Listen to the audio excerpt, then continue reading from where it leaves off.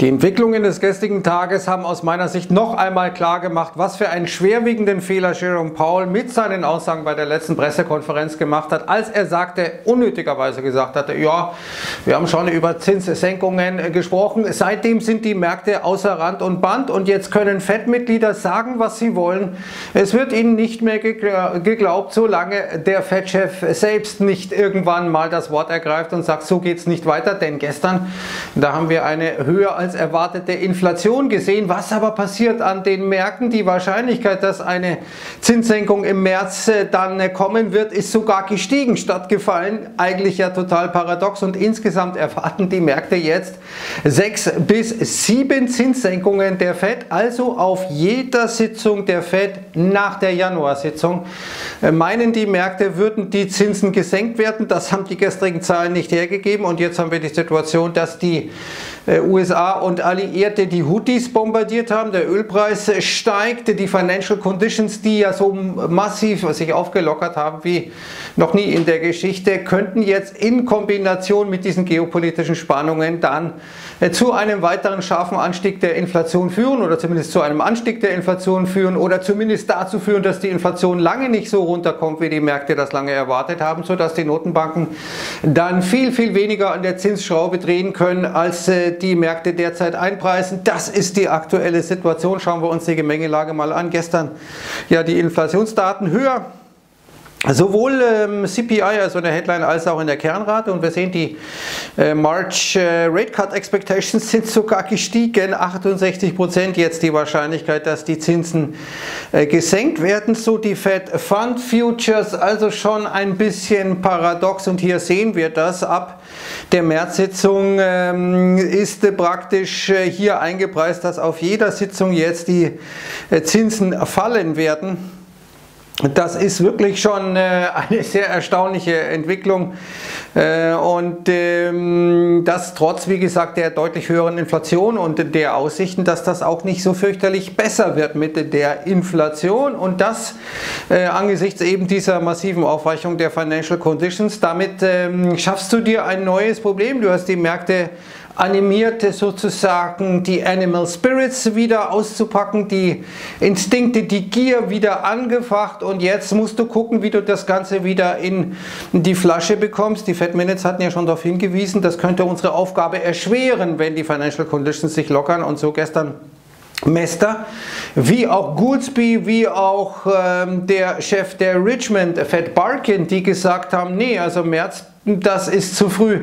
Das wird sehr wahrscheinlich nicht passieren. Und der Mester zum Beispiel sagte, ähm, äh, es ist nicht äh, so, dass wir jetzt äh, begeistert sind, wenn wir sehen, dass der Fortschritt in Sachen Inflation äh, zum Stoppen gekommen ist, aber genau das scheint jetzt gerade passiert zu sein. Das ähm, ähm, liegt nahe, dass wir mehr zu tun haben und wir sind bereit, auch mehr zu tun. Also das ist ja fast eine Andeutung von Zinsanhebungen statt eine Zinssenkungsandeutung. Ähm, die FED äh, gestern mit neuen Daten zu ihrem Balance Sheet ist gestiegen, das erste Mal seit langer Zeit, 5,7 Milliarden, jetzt nicht viel, aber ein bisschen. Also die Bilanzsummenreduzierung geht ja nicht weiter. Große Diskussion derzeit. Wie schaut es aus? Muss die, äh, das Tempo der Bilanzreduzierung gesenkt werden?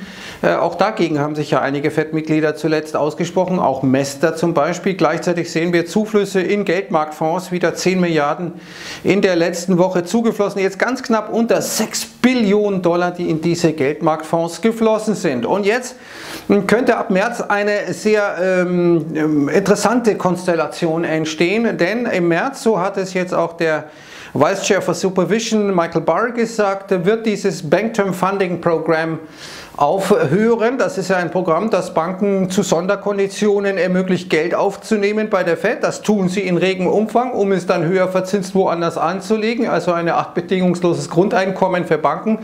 Das war die Reaktion der Fed auch auf die Bankenkrise im März, April äh, letzten Jahres. Und wir sehen, dass die, ähm, das Volumen der Reverse Repo Transaktionen, mit denen die Fed faktisch Liquidität ins System führt, äh, dass das Volumen immer weiter runtergeht. Je stärker das Volumen runtergeht, umso mehr Liquidität im Grunde für die Märkte. Wenn aber jetzt das Volumen bei Null ist, dann ist Ende Gelände, dann passiert nichts mehr. Und das dürfte spätestens im März passieren, wenn das so weitergeht. Das heißt, da kommt keine Liquidität und gleichzeitig würde das Bank Term Funding Program, BTFP, aus auslaufen. Äh, das wäre dann eine sehr, sehr interessante mm, Situation, nicht nur für äh, die Banken in den USA. Nochmal schnell hier jetzt zu den geopolitischen Ereignissen, denn das wird wichtig. Die Amerikaner äh, und die Briten und Alliierte haben jetzt Militärschläge im Jemen gemacht heute Nacht. Damit haben wir die erste Expansion, wenn man so will, des äh, Israel-Gaza-Krieges, des Israel-Hamas-Krieges. Und dass das früher oder später passieren muss, äh, war eigentlich klar, denn die Kosten sind immens. Äh, Treibstoff, Zeit, Kapazitäten, Versicherungskosten steigen, Lagerkosten steigen, weil man eben länger äh, die Dinge einlagern muss und Lieferkettenprobleme waren die Folge mit der ähm, Situation, dass Tesla jetzt zum Beispiel zwischen 29. Januar und 11. Februar, also praktisch zwei Wochen komplett mal eben die Gigafactory in Berlin äh, schließen muss. Also praktisch äh, hier passiert nichts mehr. Das zeigt die Auswirkungen und warum jetzt letztendlich unter Führung der Amerikaner dieser Schlag erfolgte.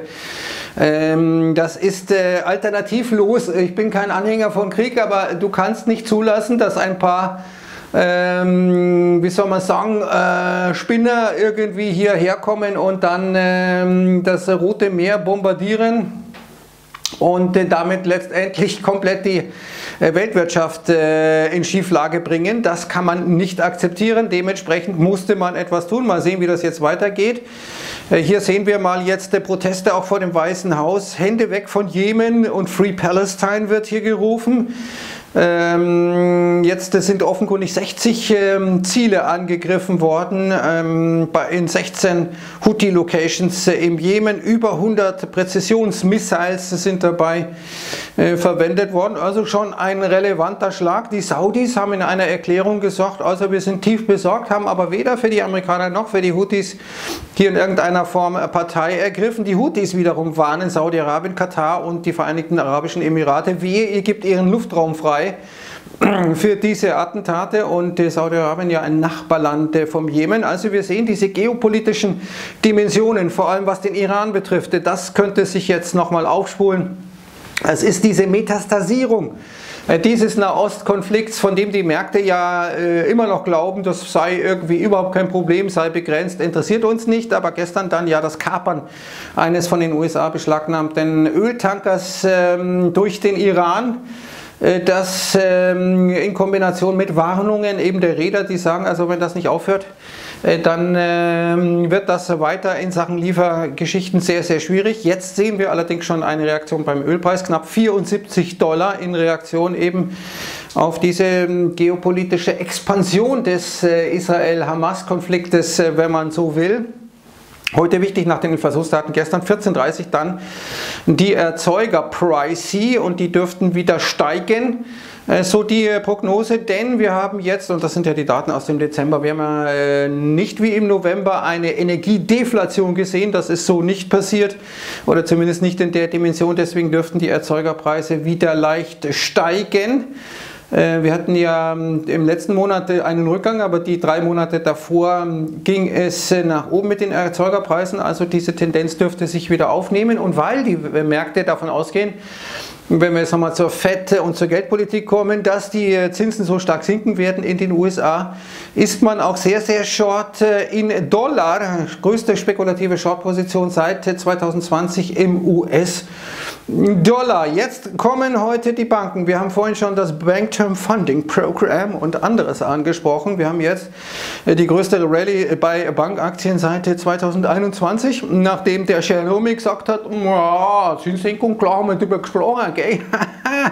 und heute kommen BlackRock, ähm, kommen die Bank of America, kommt der Wells, kommt der JP Morgan, äh, am wichtigsten JP Morgan, 13 Uhr Aktie ja auf Allzeithoch äh, in diesem Bereich und 14 Uhr dann Citigroup. Also heute beginnt die Berichtssaison und sie beginnt mit den Banken, jenen Banken, die zwischen, die jetzt im letzten Jahr das größte Volumen an ähm, Pleite Assets äh, hinnehmen mussten, größer als in der Finanzkrise. Damals sind allerdings mehr Banken pleite gegangen, diesmal ja in Anführungszeichen nur fünf.